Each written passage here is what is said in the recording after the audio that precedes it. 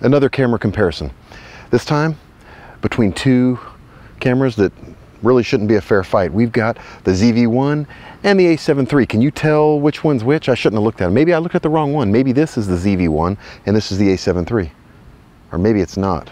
They're both shooting in picture profile 10, aperture priority, uh, letting everything else kind of handle itself here. Can you tell which is which? Let's talk about it.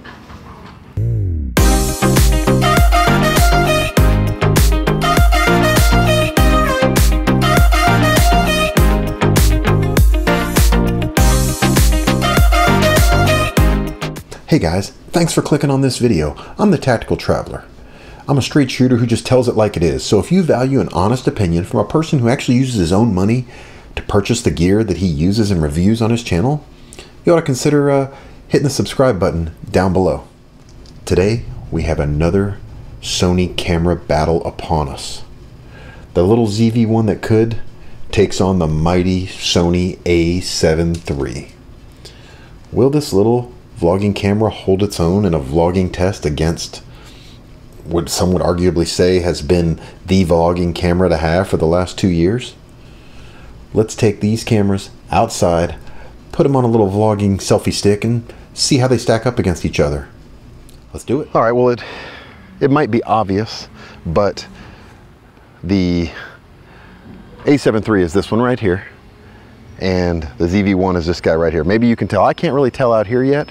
When we get back inside, maybe I'll uh, do a little bit of studio talking and we'll decide if it's really worth it getting a camera that costs more than twice as much than this little guy right here. Now all the audio I'm doing with the uh, A7 III, I'm running it with my Rode Wireless Go. It's just easier. My arm is about to fall off and die because this A7 III is ridiculously heavy. All right, so look, look here what we've got for the for the A7 III setup. Is this, I mean, look at the difference. This is what I'm carrying with the A7 III, and then over here, this is the ZV-1. This is the difference. So we're not gonna keep carrying both of these because this is ridiculous to try and carry. The field of view is a little wider. I went out to 17 using the Tamron, 17 to 28, and here you get what you get with a ZV-1, right? So let's put one of these cameras down and we'll do all of our tests like we did with this camera versus the A6400 and see what we get. Starting here on the A7 III. Hopefully it'll make the other one feel a lot lighter when we get that started. Oh, Ugh, the dog's about to attack me. My neighbors think I'm crazy. So how's the image quality here? I would imagine A7 III is renowned for excellent image quality. Is it doing good? Does it live up to its reputation for phenomenal image quality here? We're shooting 4K, 24 frames a second. Now, using the external monitor, I don't have the famous Sony autofocus. It, it disables face tracking with the monitor that I have because I don't have the fancy Atomos Ninja recorder. I just have a rinky-dink uh, Andycine 4K monitor and it uh, doesn't allow me to record to it, but it does the job. I don't really use it much on this camera. I've got to confess, this camera I mostly use for stills, maybe some studio stuff, maybe some comparisons like this. The A6400 video wise is, is pretty darn good and I, I, pretty much use that one exclusively for video and my ZV-1 for, for vlogging. So how's the image quality on this compare to the image quality on the ZV-1? What do you think? Is it that big of a difference to be more than twice the cost? Okay, here we are on my favorite little vlogging camera, the ZV-1, and we're going to compare this image quality. What do you think compared to what we just did? I'm going to kind of walk the same little pattern I did. We'll do a, a stabilization test after. This is kind of a bonus one right now. I just have on the standard stabilization. How does this image quality stack up against the A7 III's image quality? It's pretty windy outside today. I'm using the onboard mics on this. I did another video where I went over various microphone options for this ZV-1. I'll put a link to that video right up here in the corner. You guys go check that one out if you want to see ways to improve your audio with the ZV-1. How is this image quality compared to what we just saw with the A7 III. I can tell you what, it's a whole lot easier to hold this camera.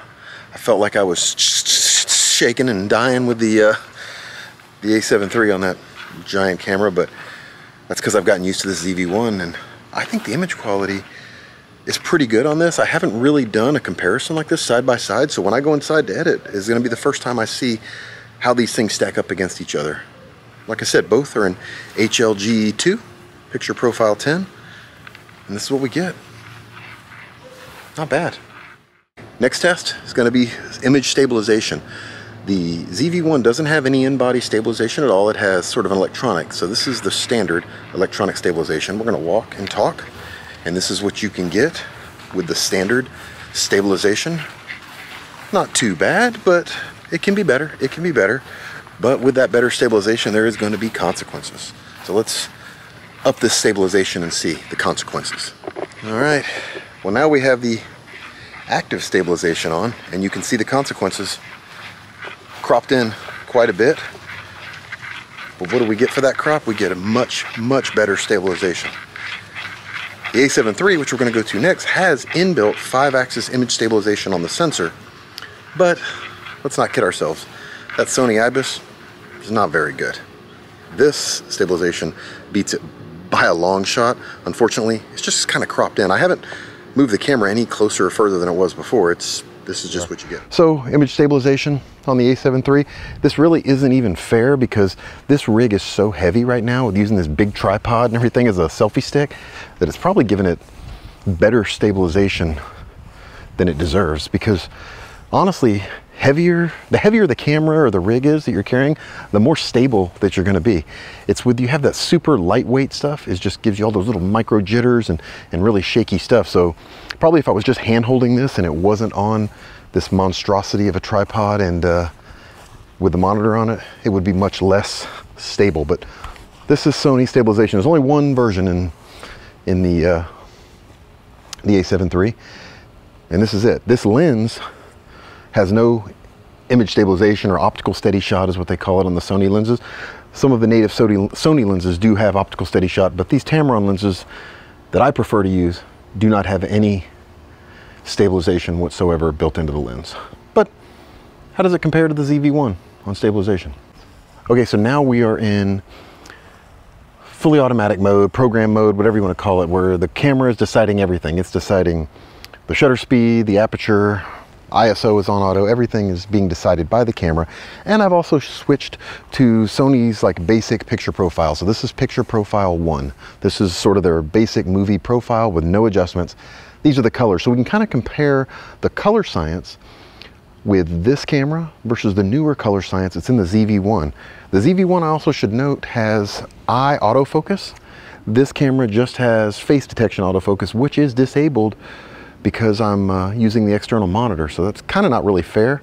I should probably unplug the monitor and let you guys get a look at the face detection. But So now I've unplugged the monitor and we are have enabled the face detection autofocus. So I don't know if the focus was losing me before. We'll walk around a little bit here and see. I'm still in picture profile one, fully automatic mode with face detection turned on. So this is if you had no monitor and this is what you'd get if you don't know how to use this camera at all. You just, you were influenced by someone to buy a full frame camera like the Sony a7 III or maybe someone bought it for you as a gift. And this is what what you get if you really don't know how to use anything on the camera. You just want to turn it on put it on automatic.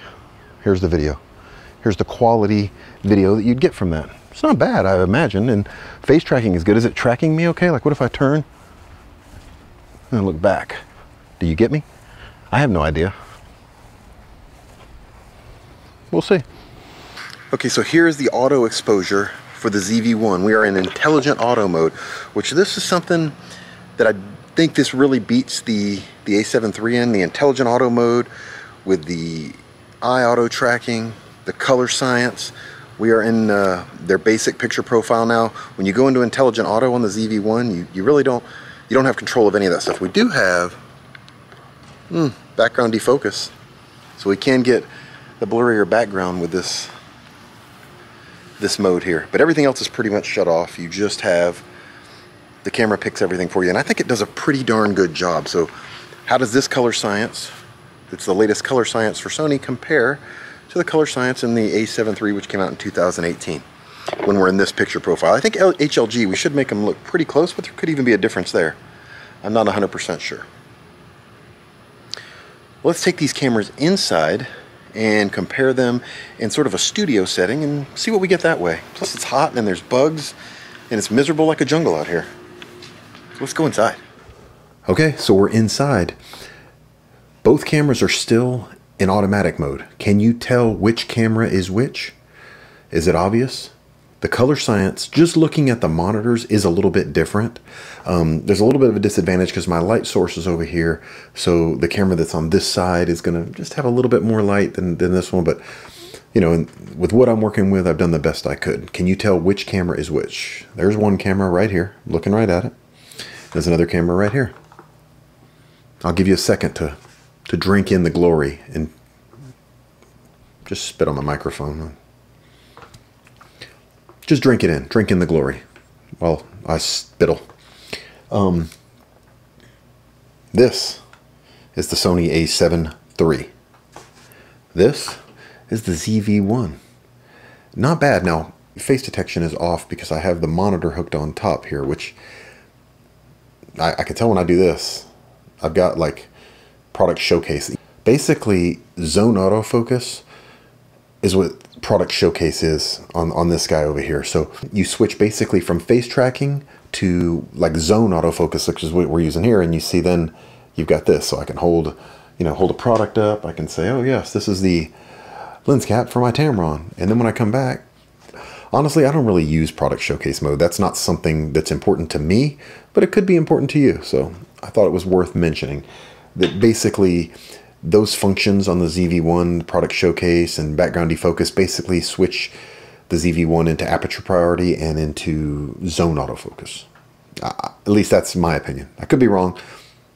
Yell at me in the comments, tell me I'm stupid. So let's go ahead and put these cameras in more of a manual exposure mode and see the differences that we can get with Okay, so what I've done here is now both of the cameras are fully manual. I set the white balances using the little custom white balance gimmick here so you can see this is white. I've also turned off the monitor on the A7 III so I can't see myself but I got it all lined up and then just detached the monitor and fingers crossed it's going for the best. The ZV-1 on the other hand has the flip out screen fully articulating fully articulating side flip screen. So what do you think of the pictures here between the ZV-1 and the A7 III?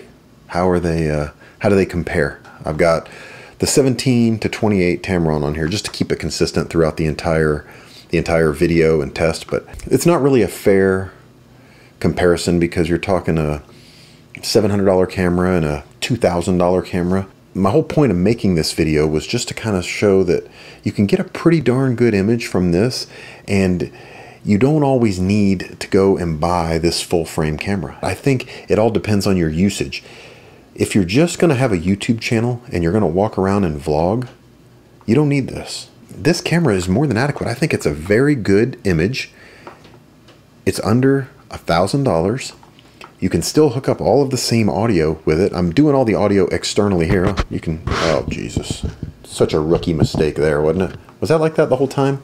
I mean, maybe it was, maybe it wasn't, whatever. That's, that's rookie, rookie mistake right there. Which camera do you think's better? Do you think it's necessary to buy this full frame camera or, or do you think that you'd be fine with the ZV-1? I think most people, for purposes of a YouTube channel only, the ZV-1 is a fine camera and it's going to get you through most anything that you need to do. The A7 III, as I mentioned earlier, I use primarily as my stills camera. It's a phenomenal video camera. If you watch anything on YouTube in the last two years, you'll see this is this has been like the most talked about camera out there, the ZV-1.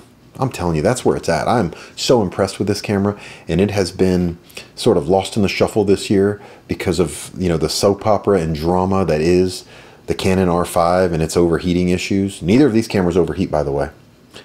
I haven't ever had a Sony camera overheat, but then again, I got I was always a Canon user. Never had a Canon camera overheat either. Let me go ahead and say that before the Canon people jump on me. I switched from Canon to Sony because I wanted one single lens mount, basically. I, I had the M mount, you had the EFS, and the EF, and now the RF, and it was just very frustrating to me. So Sony just has the E mount. That was my main reason for switching. Just as I grew, I could buy one set of lenses. Which one of these cameras do you like better? ZV-1, A7 III. Do you need an A7 III for a YouTube channel? Or will the ZV-1 work for you? Leave a comment down below. Let me know. Don't forget to subscribe and thanks for watching. We'll see you in the next one. Bye.